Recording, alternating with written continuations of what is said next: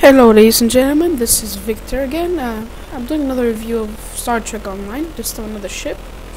The ship is the US, is the Avenger fleet, the battlecruiser. This may be a different one than normal because it's a fleet one, but they're basically the same thing, except this one has no consoles. So, I may not have the cloaking device and the torpedo thing, but still the ship is pretty similar. So let's go to space.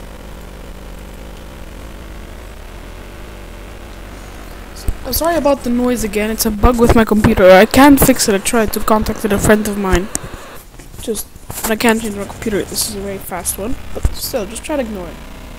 So now, the ship. Looks pretty much like the ship from Star Trek Into Darkness if you put the dark one, the dark hull. But still. Pretty cool anyway. It's pretty big ship. Has a crew of 500. Yes, I'll check it. 500 has five, four, five, four weapons and three aft. This good thing has as a cruise. It's basically heavy cruise that move around like an escort, and I can equip granite, so that's what makes it special. Let me kill myself for something so I can show you it in battle. It's a pretty cool looking ship. Pretty sleek with the warp missiles and everything. Standard Starfleet ship. The fleet one you can have with the warp missiles going down here rather old, but I decided I want to keep it Starfleet. Has a, basically the basic one has no things, but it can equip the cloak from the Dreadnought and the Defiant. So if you have the cloak from that, then you can put on this ship. If you don't, well, too bad for you. But you don't really need the cloak, to be honest. I don't have the cloak. It's, it's a fun ship, and I mean, it's pretty useless, the cloak. You can't use it in battle, not like the Klingon ones.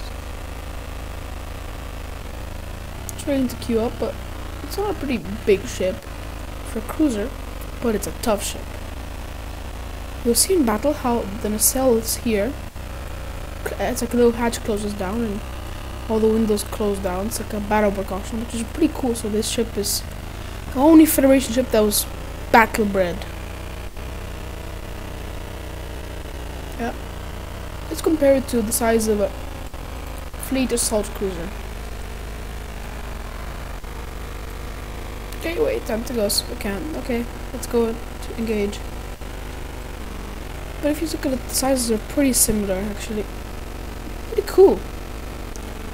And it's this thing has 56 hull, and so does this thing. And this is way smaller and also can equip more weapons. Waiting for the queue. Yeah, it's a pretty cool looking ship. Has a slow like window here like the Odyssey, which a lot of people I don't know why they don't like like this slow space here, but pretty cool to me.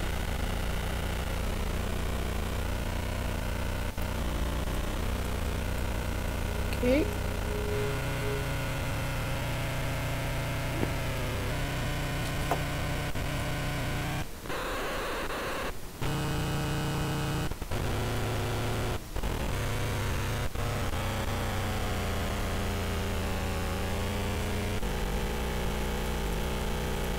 Waiting for the briefing.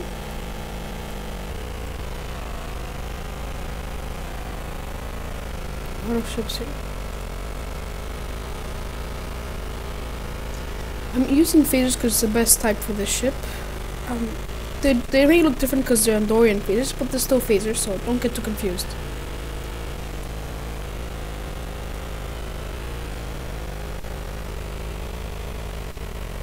Looks pretty cool.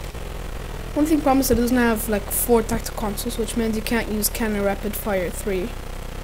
It's a little bit of a bummer, but you can adapt.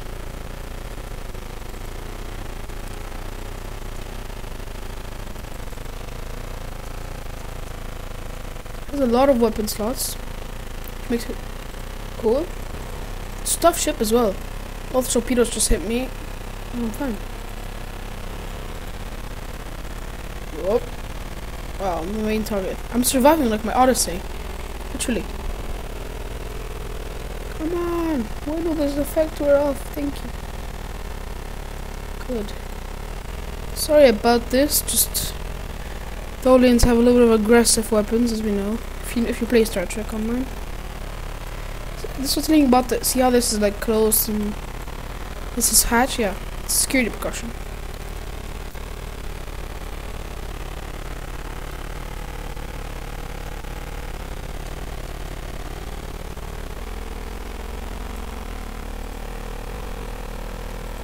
See how we hear each other? You see how everything here is closed, these hatches.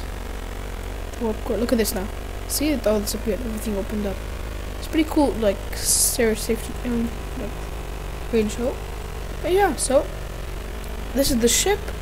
Hope you guys enjoyed it. Please send down any requests on the comments you want ships.